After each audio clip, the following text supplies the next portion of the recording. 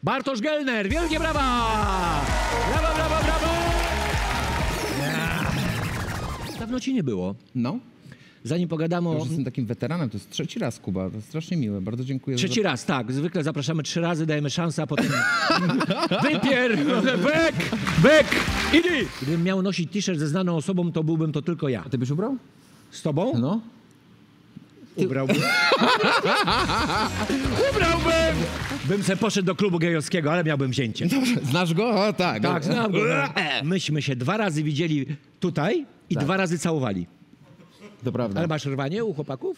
E, już coraz mniejsze, ale i- wiesz, ja się i tak nawet w związku heteroseksualnym tego wszyscy myślą, że to jest podpucha, wiesz o co chodzi, nie? Że, Przykrywka. Przykrywka, że Gelner to tam jest, Gelner jest ciepły. W tych zimnych czasach warto być ciepły. Dokładnie, jak nie ma węgla. Nie ma węgla, nie ma chrustu, warto być ciepły. Doko- Dobre hasło! W jakim momencie kariery ty jesteś?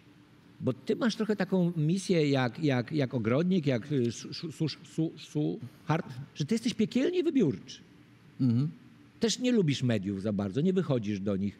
To jest świadome? No moim zdaniem tak, bo można się na tym jakby naprawdę grubo pośliznąć. Nie wiem, jakby z Magdą też się nie lubimy jakoś po prostu strasznie pokazywać, więc e, nie mamy takiej, te, też takiej potrzeby. Jak ja bym miał 16 lat starszą partnerkę, to ona by dzisiaj miała 75 lat. No do, dobra. Ja nie podrywam starszych, bo one nawet nie wstają. Ladies and gentlemen, Sarah James, wielkie brawa!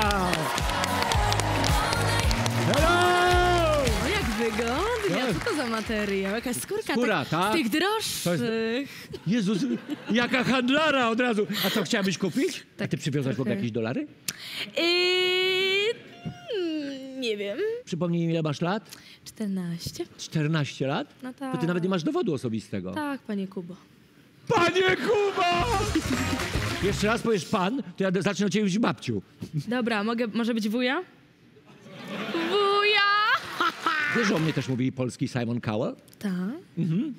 Powiedział ci coś takiego na zakończenie amerykańskiego Mam Talent, co było dla ciebie ważne. No ja w ogóle w, w tej Ameryce bardzo, bardzo dużo się nauczyłam. Po, Polacy są realiści, ja to bardzo cenię, bo jakby to bardzo pomaga i ja na przykład przez to, że jestem realistką, ja też jestem bardzo samokrytyczna i to też mi pomaga. A Amerykanie są raczej tacy z głową w chmurach, ale to też jest bardzo fajne. I No to tak, pewnie. ja widzę dwie perspektywy i to bardzo uczy. No, Aha. Potrafiłabyś zaśpiewać coś tylko dla nas. zdecydowanie. tak. Naprawdę? No tak. Chcecie usłyszeć? Bo jestem bardzo ciekaw.